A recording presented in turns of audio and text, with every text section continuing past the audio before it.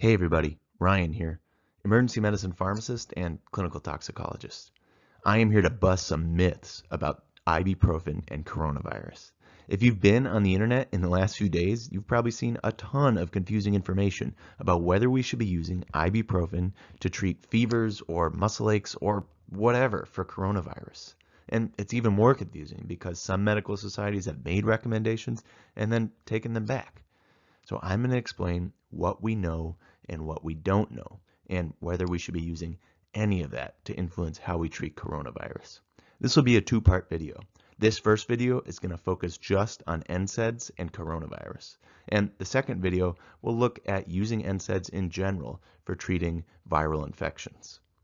This is a video for the public and for medical professionals. So we might get into the weeds a little bit with the science, but I'll try to define and explain everything along the way so everyone can follow along.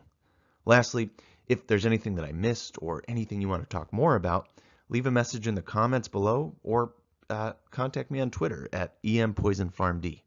Okay, let's go. We'll actually start with the takeaway for those who don't have the time or attention span to watch the whole video. It's likely too early to make any changes in NSAID prescribing just due to the COVID-19 disease. We don't know how NSAID use can impact ACE2 in otherwise healthy individuals who are taking infrequent doses. If you don't know what ACE2 is, watch the rest of the video. We don't yet know how ACE2 even impacts COVID-19. It could be bad from increased infectivity, or it could actually be good from reduced pulmonary inflammation.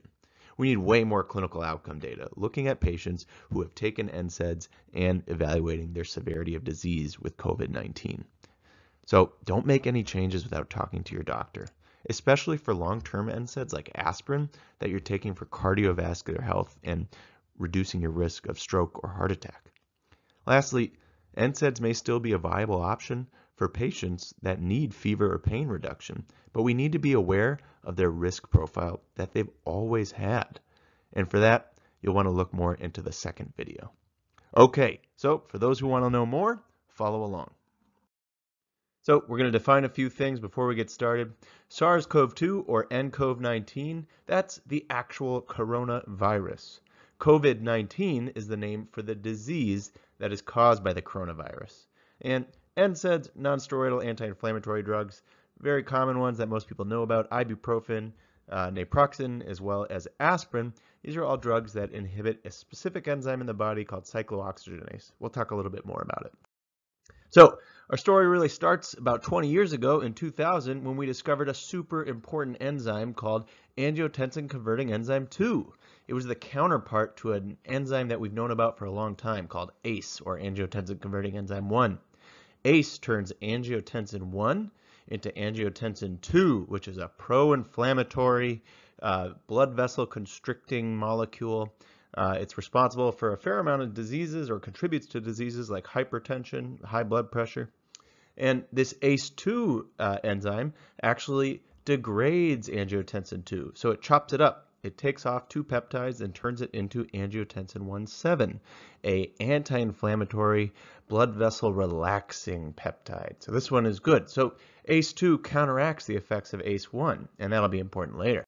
A few years after its discovery, it was found that ACE2 is the binding site for corona type viruses so that they can latch onto the cell and actually get in and start replicating. And in 2020, this year, right around January, Wan and colleagues uh, determined that ACE2 is the most likely docking site for our current strain of coronavirus, SARS-CoV-2. On March 11th of 2020, a medical journal called Lancet published a letter to the editor where the authors observed that more of the patients who were dying had diseases like coronary heart disease, diabetes, or high blood pressure that would be treated with drugs that can increase ACE2, that protein we talked about. Despite the fact that these are also diseases that are very common in the elderly, and we know elderly are more likely to experience mortality with coronavirus, the authors concluded that the increase in ACE2 from drugs used to treat these diseases might influence disease severity. And they quoted drugs like ACE inhibitors or ARBs, and these are types of blood pressure medicines, as well as ibuprofen and NSAID.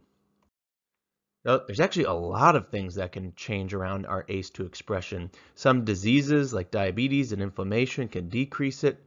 Angiotensin 2, that molecule that ACE is supposed to chew up, ACE, angiotensin 2 can also decrease ACE. And a lot of things can increase ACE as well, such as certain diabetic medications, other NSAIDs, and diuretics and blood pressure medicines. So on March 14th, the French Minister of Health tweeted that taking anti-inflammatory drugs like ibuprofen or cortisone could aggravate COVID. And if you have a fever, you should take paracetamol, which here in the US is acetaminophen. Apparently, this was spurred by four anecdotal cases where young patients with COVID-19 became critically ill and the doctor who was caring for them reported that they were all taking NSAIDs, but this isn't really confirmed. Either way, the British Medical Journal picked up this story and said top doctors and scientists say ibuprofen should not be used for managing symptoms. On March 17th, the World Health Organization spokesperson Christian Lindmeier, when being questioned by reporters about the French uh, Minister of Health's tweet as well as the Lancet editorial, stated, well, we're looking into this, but in the meantime, why don't you use acetaminophen instead of ibuprofen as a self-medication? And less than 24 hours later, they walked that recommendation back and said, actually, we don't recommend against the use of ibuprofen. We're not really sure what the data is. But other organizations like the UK's National Health Service say there's no strong evidence that ibuprofen can make COVID-19 worse, but until we know more, take acetaminophen or Tylenol to treat the symptoms of coronavirus. And the FDA says we're not aware of any scientific evidence but we're looking more into it and we'll let you know if we find anything. So with all these conflicting guidelines and statements that are made and then redacted, it's pretty easy to see how there's a lot of confusion. Add in a little bit of viral misinformation like this guideline release from the Society of a Friend whose sister is a nurse on COVID-19 treatment, and you'll see that Tylenol is getting taken off the shelves faster than it can actually be produced. So what exactly is going on in this scenario? Well, one thing that is probably right is that NSAIDs can probably increase ACE2, that protein that lets viruses dock to the cell. The body normally takes this molecule called arachidonic acid and metabolizes it via an enzyme called cyclooxygenase to these compounds called prostaglandin inside the kidney. Those compounds lead to a couple of downstream effects, but overall, it leads to production of angiotensin 1, and that's the molecule that gets cleaved by ACE into the inflammatory molecule angiotensin 2. So NSAIDs, by pretty much definition, have to block the activity of cyclooxygenase, and thus they prevent angiotensin production and we decrease angiotensin 2. And if you remember, angiotensin 2 is a downregulator of ACE2, so without angiotensin 2, ACE2 can increase. Let's just stop here for a minute and define what an NSAID is. Like I said, it's a molecule that blocks cyclooxygenase. They prevent the production of inflammatory molecules. Common over-the-counter ones are ibuprofen, naproxen, and aspirin, but some people might be on prescription ones like meloxicam, indomethacin, celecoxib, or ketorolac. Some also claim that acetaminophen is an NSAID because it has effects on cyclooxygenase in the brain. And it does decrease prostaglandin similar to other NSAIDs, but it doesn't really work at the kidneys, so we wouldn't expect it to increase our ACE2.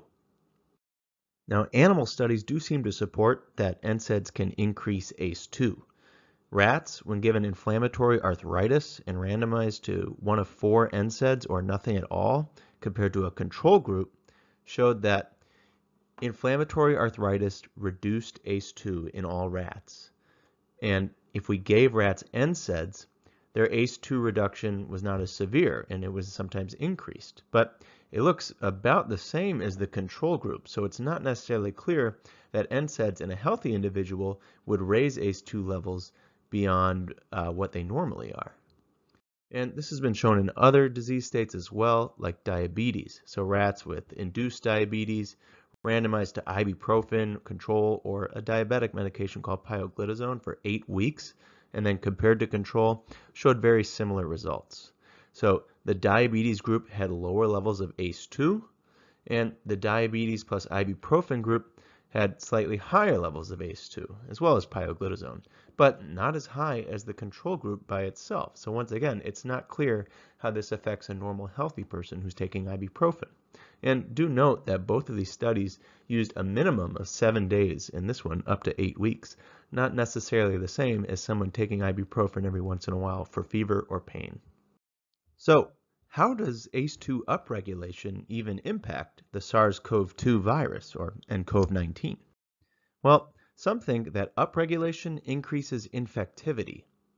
Normally, when nCoV-19 binds to the ACE2 receptor on your cell, it then gets sucked into the cell and begins replicating its DNA, which can then be sent out to other cells and increase infection. So if you have more ACE2 receptors, you increase the likelihood that nCoV-19 will collide with one, and uh, maybe more nCoV-19 uh, viruses can actually enter the cell. However, we don't actually know if that's the case. And in fact, downregulation of docking proteins is actually good for some viruses. HIV secretes a downregulating protein when it attaches to the cell that tells the cell to bring that receptor back inside. And this helps the virus get inside the cell and prevents other strains of HIV from entering the cell and causing this strain to have to compete for viral replication. SARS-CoV-2 also downregulates ACE2 when it attaches to the cell, and some think that that may actually be one of the causes of the more severe portions of disease from COVID-19. Remember, ACE2's normal function is to metabolize that pro-inflammatory molecule angiotensin 2 into an anti-inflammatory one. So if nCoV-19 has attached to our ACE2 receptor and forced it into the cell, angiotensin 2 can run amuck in the lungs, causing inflammation and damage. If you have upregulated angiotensin converting enzyme 2, then even if there is nCoV virus attached to some of your ACE2 receptors, you probably still have more available to metabolize your angiotensin 2 and prevent inflammation. Additionally, it's possible that some of your ACE2 receptors will break off and go into solution so they can go metabolize angiotensin 2, and on the way they might intercept an nCoV virus that's trying to reach your cell and prevent it from cellular entry. So via these lower inflammation pathways and possibly preventing cellular entry, uh, they might actually be beneficial in COVID-19 disease. This is actually supported by animal studies where if you take rats with influenza and you look at ones that have no ACE2 molecules, meaning they can't get rid of any angiotensin 2, compared to control rats, you see far more lung injury in the ACE2 knockout rats compared to control. And this effect is reduced when you give those rats soluble angiotensin converting enzyme 2. So for these reasons, some authors have postulated that you could use drugs that increase ACE2 expression, like angiotensin receptor blockers, uh, to increase the amount of ACE2 and hopefully reduce inflammation. Uh, or you can use soluble ACE2, administer it to patients, and hopefully bind the virus before it reaches the cell membrane, and be able to metabolize off all the angiotensin 2 that's produced. So what do we know?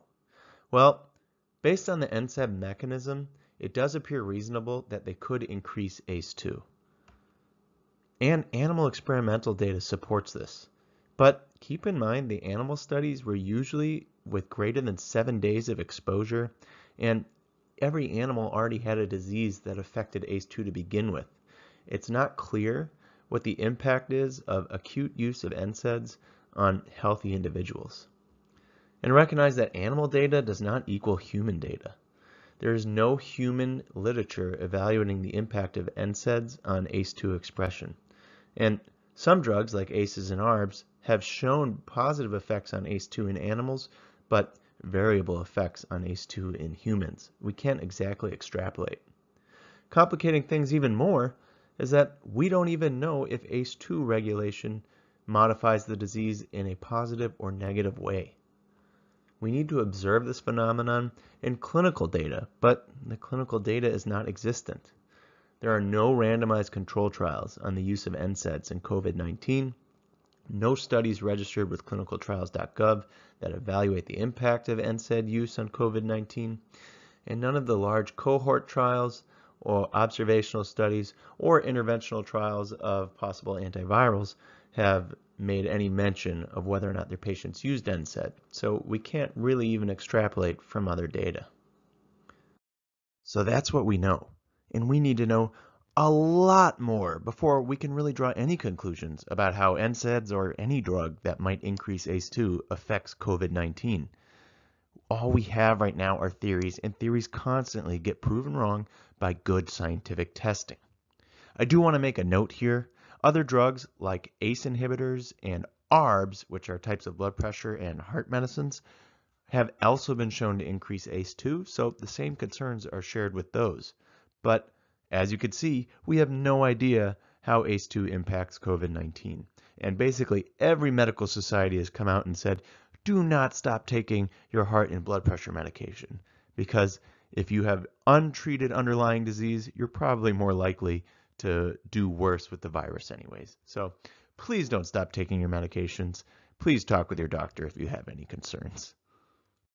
So are NSAIDs completely risk-free for using in upper respiratory infections? Well, no, but these are the risks that they've always carried. It has nothing to do with COVID-19.